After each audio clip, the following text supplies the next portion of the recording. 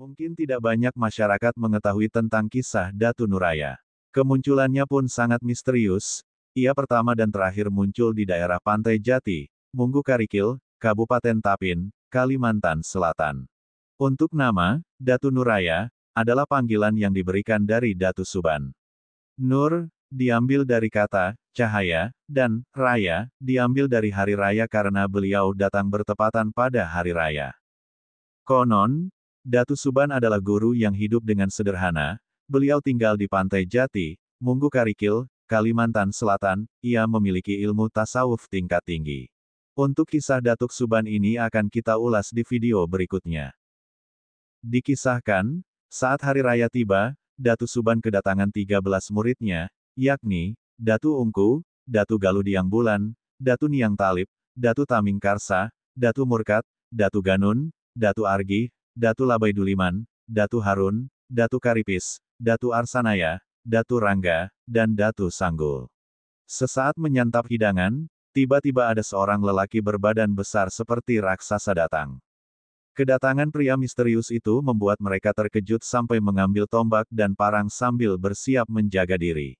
Assalamualaikum warahmatullahi wabarakatuh. Kata pria berperawakan raksasa mengucap salam sambil mendekat. Waalaikumsalam warahmatullahi wabarakatuh. Jawab para datu yang hadir di tempat itu. Maaf, siapakah saudara, dari mana asalmu, dan apa maksud kedatangan saudara? Tanya Datu Suban. Namun, pria raksasa misterius itu hanya menjawab, La ilaha illallah. Sampai tujuh kali ia mengulang kalimat itu. Setelah mengucapkan yang ketujuh kali tak disangka pria itu jatuh hingga terbujur kaku. Para datu pun memeriksa keadaannya, ternyata lelaki misterius itu sudah wafat.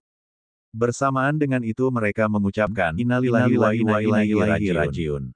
Melihat tubuhnya yang besar, para datu kebingungan bagaimana cara memandikan dan menguburkannya. Terlebih saat itu terjadi kemarau panjang yang mengakibatkan tanah menjadi keras dan memerlukan air yang banyak.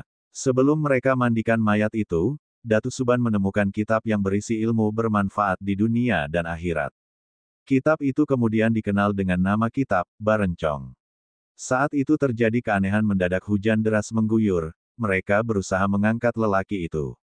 Namun, tubuhnya ringan seperti kapas. Subhanallah, ucap mereka serempak.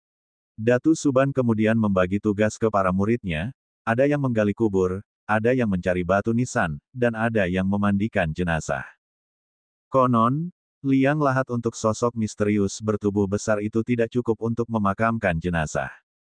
Maka, kakinya terpaksa dilipat sehingga tubuhnya membentuk huruf Hamzah, dengan panjang sekitar 60 meter. Seandainya kakinya tidak dilipat, panjang makam Datu Nuraya mungkin bisa mencapai 100 meter.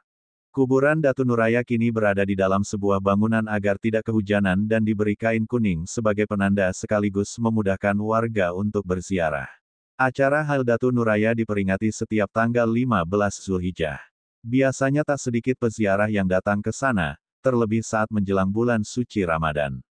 Huwallahu alam bisawab.